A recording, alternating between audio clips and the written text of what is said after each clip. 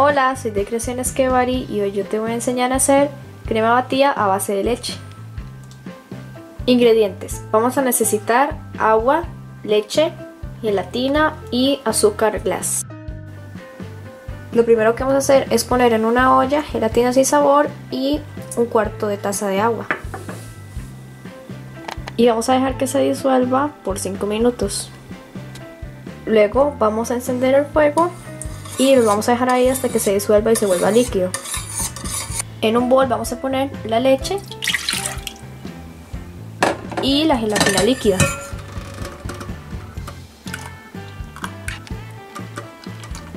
Y las mezclamos por 20 segundos. Le añadimos media cucharada de extracto de vainilla. Y también le agregamos un cuarto de taza de azúcar glass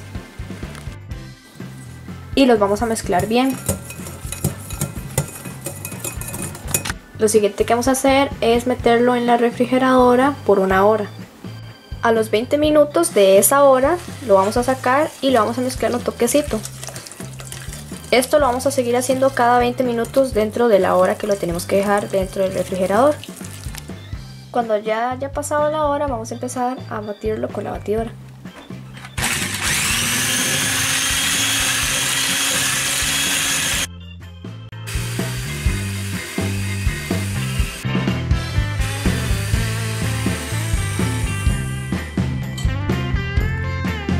Y así es como nos quedaría lista nuestra crema batida.